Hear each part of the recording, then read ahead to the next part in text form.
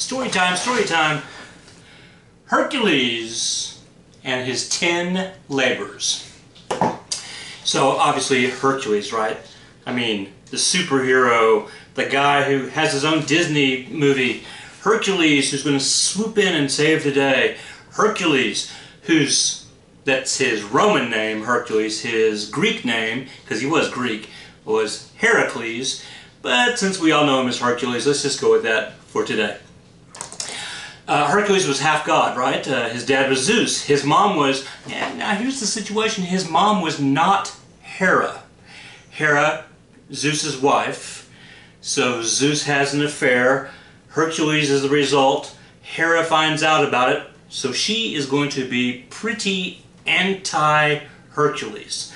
And she's going to go out of her way to do terrible things to him that he's going to overcome and overcome and overcome because he's Hercules, right? So that's what that's what we're taught in first grade and second grade and third grade.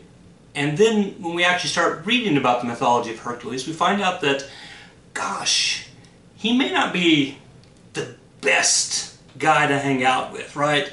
He's going to do some pretty awful things.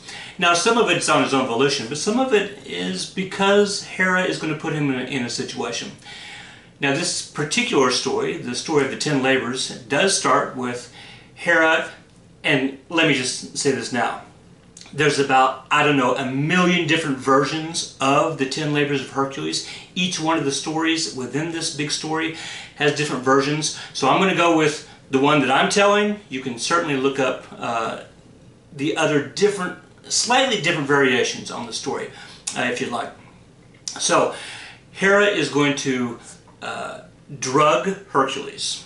Um, he's he's at the local bar. He gets uh, he gets a couple a couple of uh, uh, drinks, and he's going to be drugged. When he comes home, he's going to find out that there are intruders in his house, and they are doing terrible things. They're messing up his house, and so he's Hercules, so he doesn't have to do much he just goes over and clubs them, right? And he kills all the intruders. The next, and then he falls asleep on the couch because he's been drugged. Uh, the next morning he wakes up and it turns out, well, he did kill all those people and their bodies are laying around. Unfortunately, in his drug-induced state, uh, the people that he killed were not intruders, they were his children and his wife Megara. So, right, so the story starts off with Hercules killing his wife and his children. Something that we don't necessarily learn in third grade, but, well, there you go.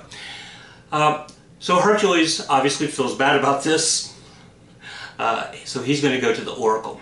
Uh, so he goes to the oracle, and the oracle, of course, the oracle knows all, sees all, has all the answers. The oracle says, Hercules, yeah, you really screwed up. So you're going to need to do penance. You're going to need to atone for this. So here's what you're going to need to do. You're going to need to become a slave for 10 years.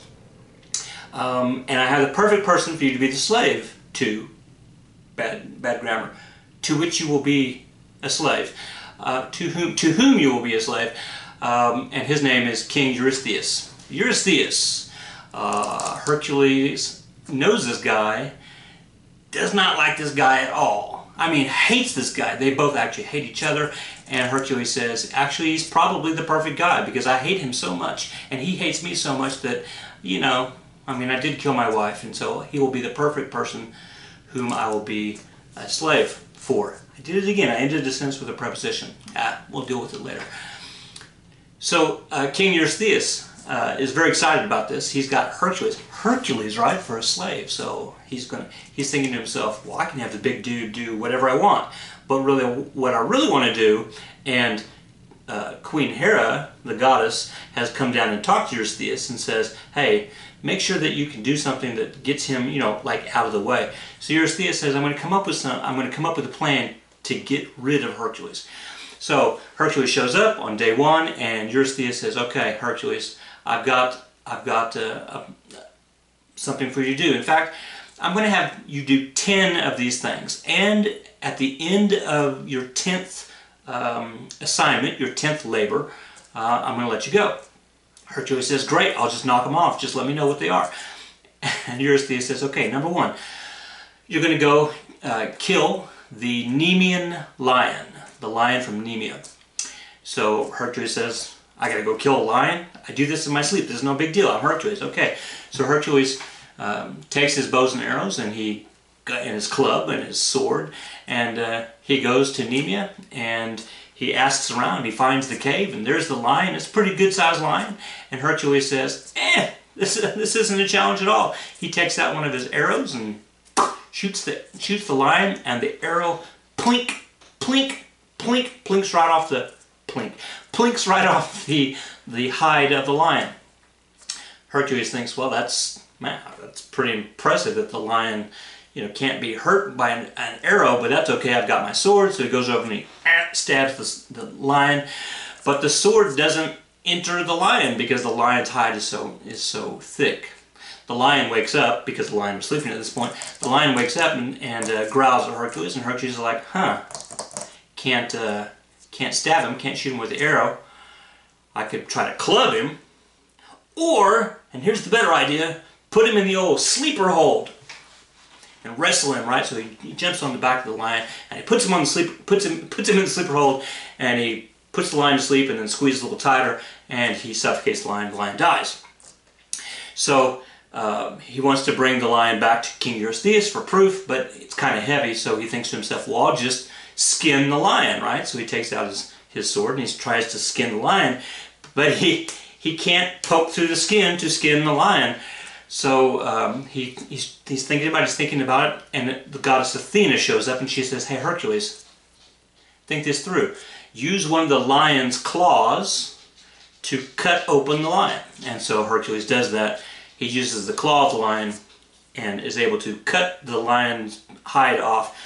So why this is important for us in mythology is that if you ever get to go to uh, Greece or you get to go to museums that have Greek statues in it and you're sitting there thinking, man, I don't know which god this is or who that god is because it's not labeled or whatever, you can almost always recognize, oh, that's Hercules. Why? Because he's going to have either a hat that has lion ears or he's going to have a cape that looks like lion hide or he's going to have a shawl over his shoulder that that's a lion. And so you'll be able to recognize Hercules uh, because he's the guy who wears the hide of a lion which now that you think about it, it's pretty smart because if somebody's shooting arrows at him, hey, right?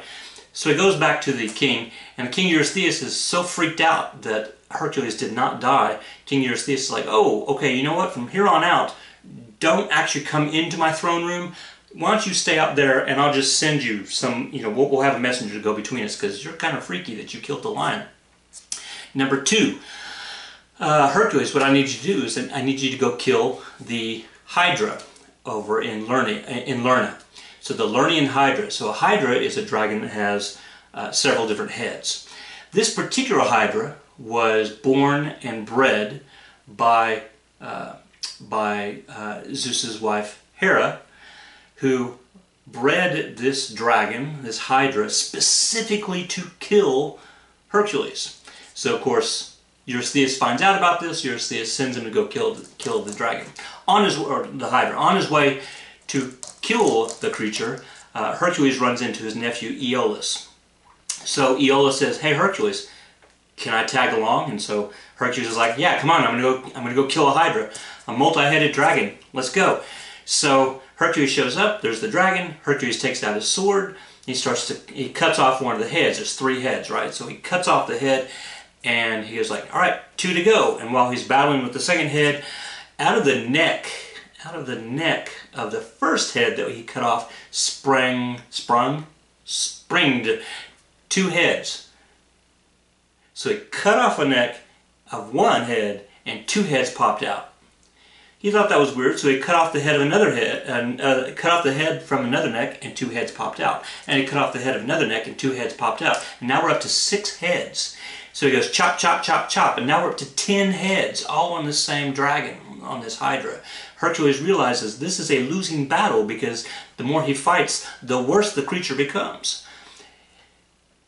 Either Iolaus or Hercules comes up with the idea of cauterization. So cauterization is when you take fire and you apply it to a burn, or you, you, you know, you apply it to a wound, which then burns burns the, the skin around it, which closes it up. Ugh, and I'd hate to to do that to myself, but I mean, sometimes you just got to close it up, right? So, uh, the plan is Hercules is going to cut off a head, and then Iolaus is going to take a torch, and he's going to cauterize the neck. So he's going to form that scab over the neck, so heads can't pop off. Well, it works. So he cuts off nine of these heads, and Iolaus quickly uh, uh, cauterizes the necks. And everything's great until we get to the last head, and the last head is immortal. It cannot be killed. Hercules cuts the head off, but the head's still trying to, you know, lying on the ground trying to bite him. And so Hercules takes a giant rock and he puts he puts the rock on top of the head. Now, stepping out of the story for a second, um, I taught at the American School of Classical Studies in Athens, Greece back in 2009 in the summer, and was taking a bus with some of my students. And we're driving we're dri driving uh, south from Athens uh, into the Peloponnesus, and we're driving by and there's the town of Lerna, and we're like, oh wait, wait, that's Lerna this is where the this is where the dragon and sure enough there's a pretty good sized rock out there that everybody's like oh it's right there that's where the head's buried under that rock. And all my students were like hey let's uh let's go let's go dig it up let's go see. And i'm like eh, i don't think that's that's probably not a good idea. Plus they're probably not big fans of people trying to do that. Back to the story. So round number three. So he's already killed the lion he's killed the hydra number three uh, Eurystheus realizes that, eh, man, if he can kill the Hydra, Hercules can pretty much kill anything. So let's do something different. Let's do let's do a different challenge. Hercules, what I'd like you to do is I'd like you to go get me Artemis's, the goddess Artemis, the goddess of the hunt. I want you to go get her pet deer, her hind. So from Ceryneia, so the Ceryneian hind. Uh, so the goddess of the hunt's pet deer who apparently is pretty fast.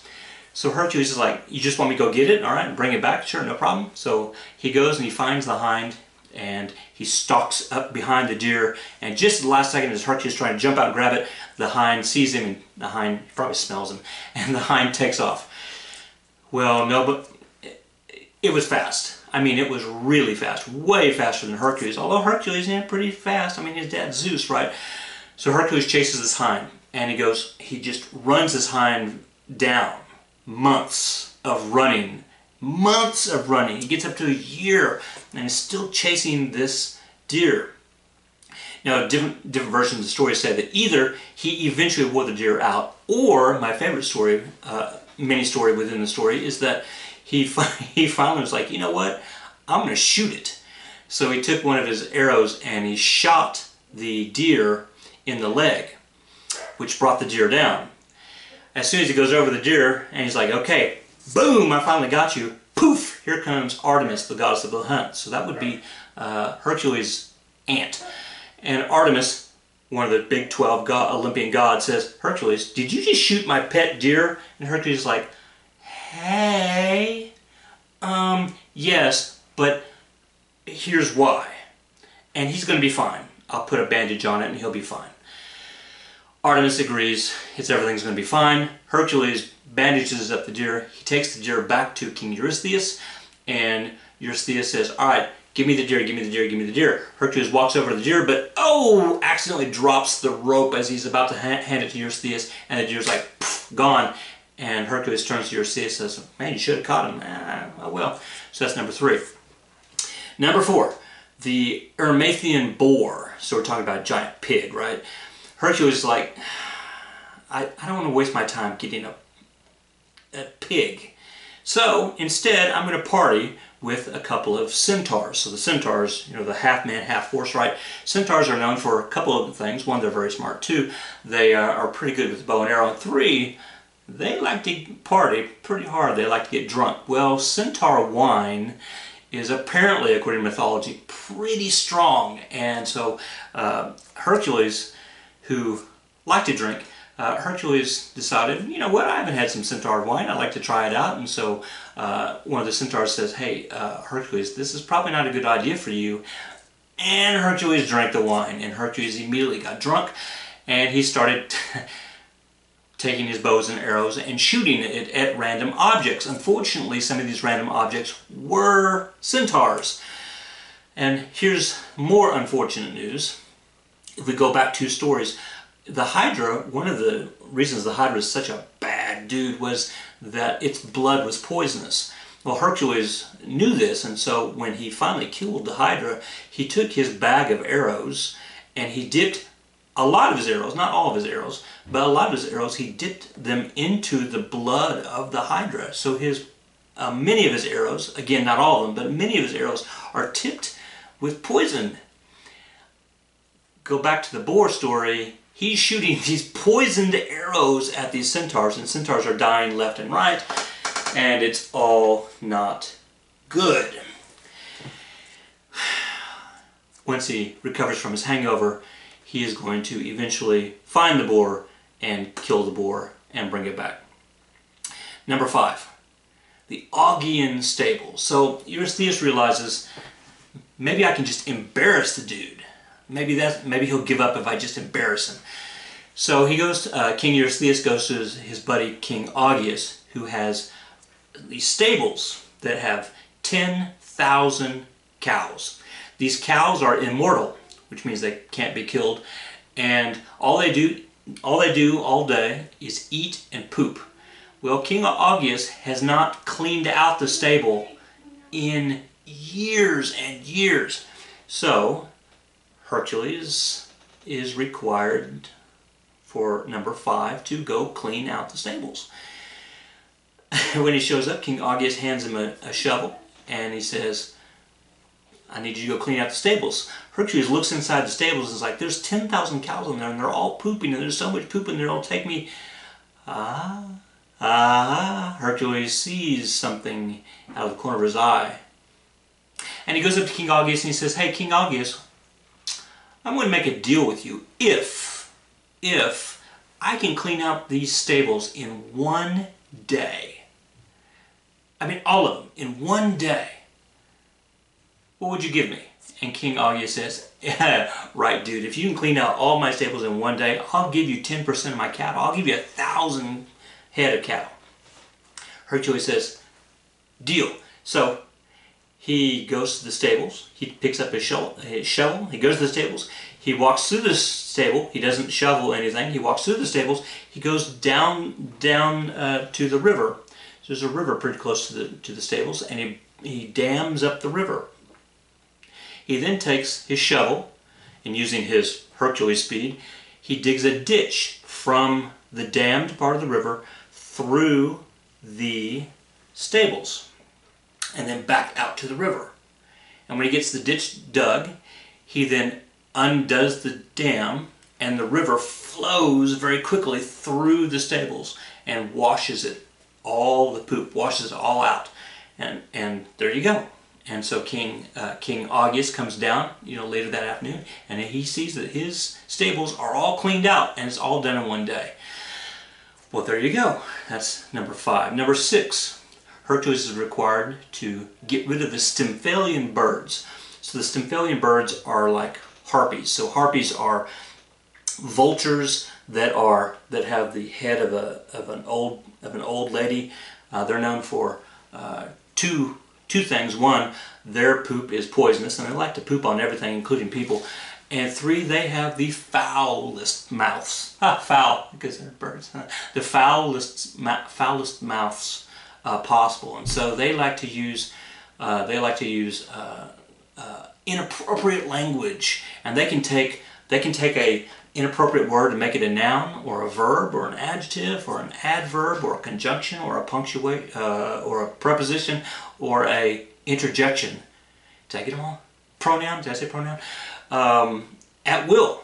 They're that good at cussing. So they show up, or uh, Hercules shows up, and, and all these uh, birds, these Stymphalian birds, these harpies, they're sitting up in the tree.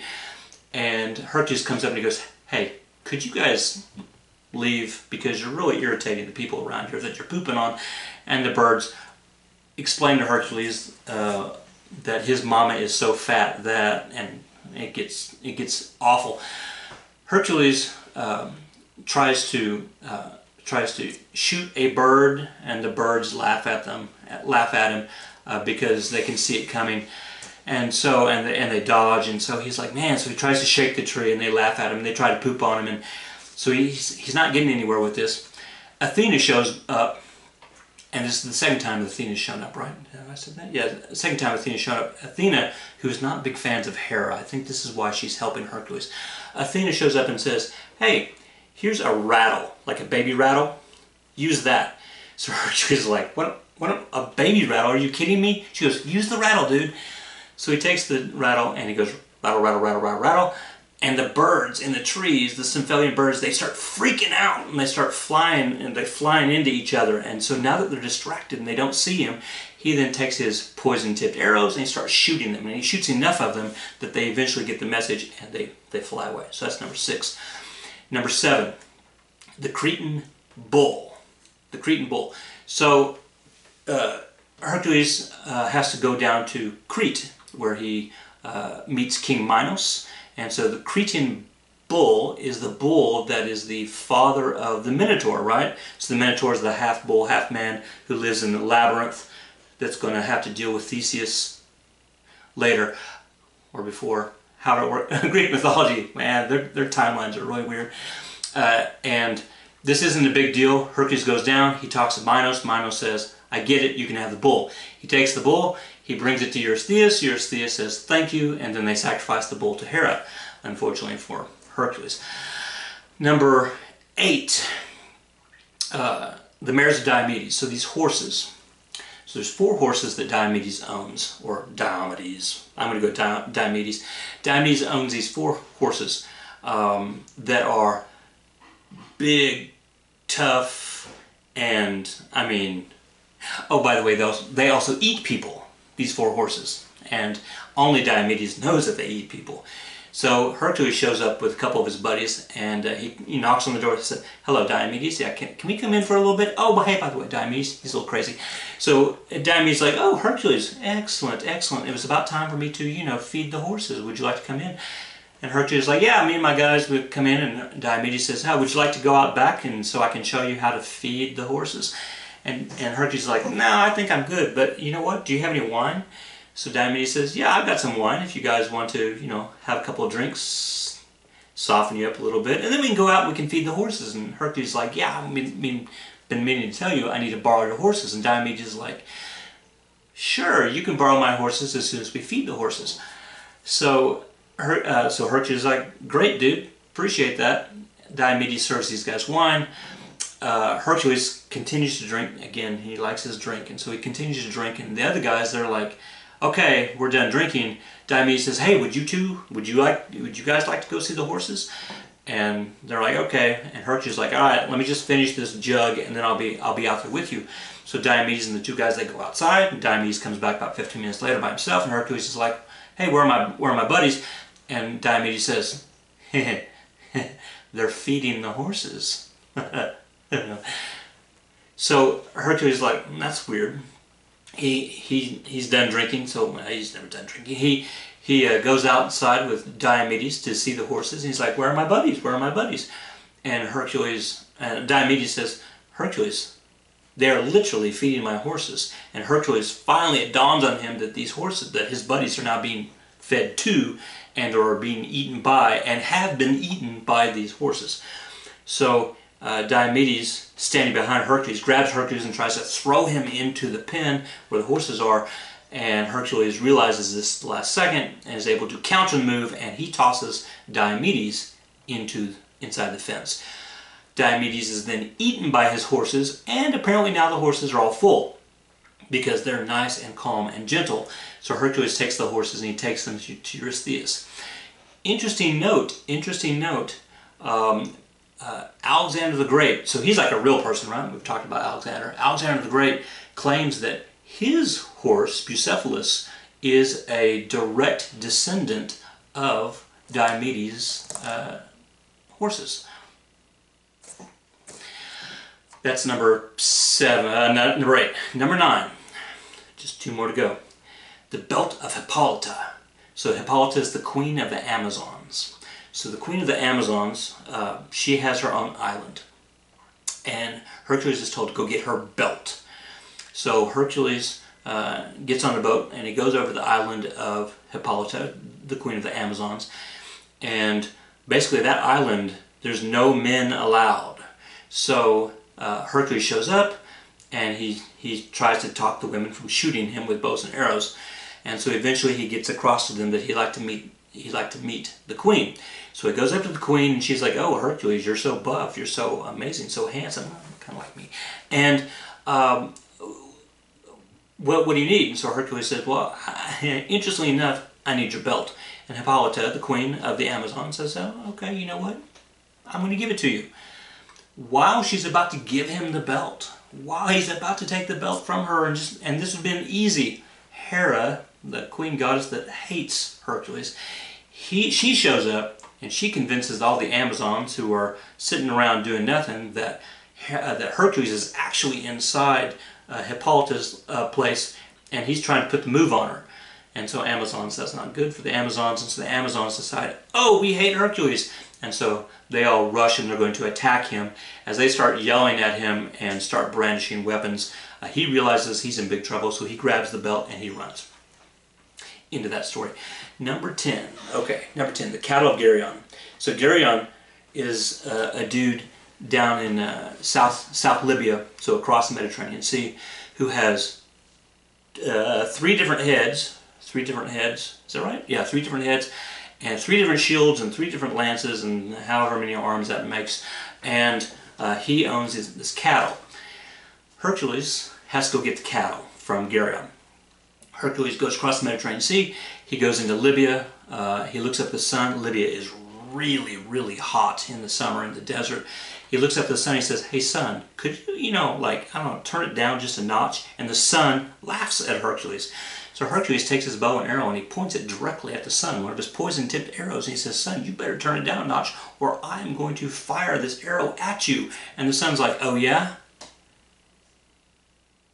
Okay, yeah, I'll turn it down a notch. Uh, Hercules uh, goes and finds the cattle. He kills a two-headed dog, and then eventually he takes his club and he knocks knocks Geryon out. Bang, bang, bang. Um, and then he takes the cattle. Um, interestingly enough, his uh, the way back is more is is crazier than the way there. He has to take this herd of cattle, and of course uh, he's by himself, Hercules by himself, and so he's got to try to round up the cattle right like a cowboy, and he's got to get them across the Mediterranean, uh, Mediterranean to Greece. So, uh, unfortunately for him, Hera shows up as a gadfly. So a gadfly is that little bitty fly that everybody hates, the giant horse flies, and she starts to bite the cattle, which causes the cattle to go insane, which causes them to flee everywhere. So Hercules has to track down all these different cows. Eventually he catches all of these cows except for one bull. He takes all the cows to Eurystheus except for the bull and he goes, all right, I'll be right back. So he goes and he chases this bull and this bull goes uh, north into Macedonia and then uh, west into Albania and then uh, swims across, let's see, that'd be the Adriatic um, and ends up in, uh, in the boot, right? And so uh, on the on the land that looks like a boot, and so Hercules eventually tracks it down and brings the bull back. And so the uh, the Greek term for bull, the Roman term for bull is Italus. Italus. And so he found the bull in the land of Italus, which, well, there you go, you can figure that out yourself. So that's number 10, and he's all done. So he shows back up to Eurystheus and he says, okay, Eurystheus, done. I got my 10 out of the way, so I'm outie, right? And Eurystheus says, oh, no, sorry. No, no. The one with the Hydra, it didn't count. Hercules is like, whoa, whoa, wait a second, it didn't count. I killed the Hydra. You told me you killed the Hydra. I killed the Hydra. And Eurystheus says, no, you, yeah, you did kill the Hydra, but you had help. Iolaus was there, and he was cauterizing the wounds of the, of the Hydra, so it doesn't count. You got to do one more. Hercules is like, seriously, dude? Okay, right, fine. What? Give me. What do you? What do you need? Eurystheus says, you know what? I've got a taste for a golden apple. Oh, a golden apple. So Herc, so Hercules is like, where am I supposed to get our golden apple? Not like, you know, like a regular golden apple that you go down to Walmart and get your golden apple. No, these are one of the famous golden apples. Started the, the Trojan War, right? So uh, Eurystheus says, I don't know, go find you a golden apple. So Hercules starts to ask around, he asks around, he asks around, and nobody knows where you can find these golden apples. And so eventually he's directed to, um, he's directed down to uh, uh, uh, uh Atlas. Atlas uh, was punished by Zeus. Atlas is one of the uh, one of the Titans who was punished by Zeus during the during the famous Titan War, um, and his punishment is that he has to hold up the Earth, like by himself. He holds the entire Earth. So maybe you've seen a little statue of the guy, you know, like holding the Earth. That's Atlas. If he drops it, everybody will die. Everybody on the Earth will die if he drops it. So it's pretty important that he holds it up. And so he goes to Atlas and he says, Atlas. So Hercules goes down to the bottom of the world. He says, Atlas, do you know where the golden apples are? And Atlas says, in fact, I do know where the golden apples are. Hercules is like, great, could you tell me? Because I need to get a golden apple. And Atlas says, uh, I would like to tell you, and I could tell you, but I'm not going to tell you because, frankly, you probably couldn't get there because there's a dragon, and I, you know, and you don't know the secret code word and all this kind of stuff. But I do. I do know all that. Hercules says, okay, man, but you can't leave because if you drop the world, then uh, everybody dies. Atlas says, tell you what, Hercules, I'll make you a deal. I'll go get your golden apple if you hold up the world for me while I'm gone. I'll just be gone like five minutes and I'll be right back. And Hercules is like, you want me to hold up the world for like five minutes? Just five minutes? Atlas is like, yeah, just five minutes. Like, and then I'll, I'll be right back. So Hercules is like, okay, give me the world. So Atlas puts the world on Hercules' shoulders. Hercules goes, oh, this is heavy. This is like really, really heavy. It's like the entire planet, right?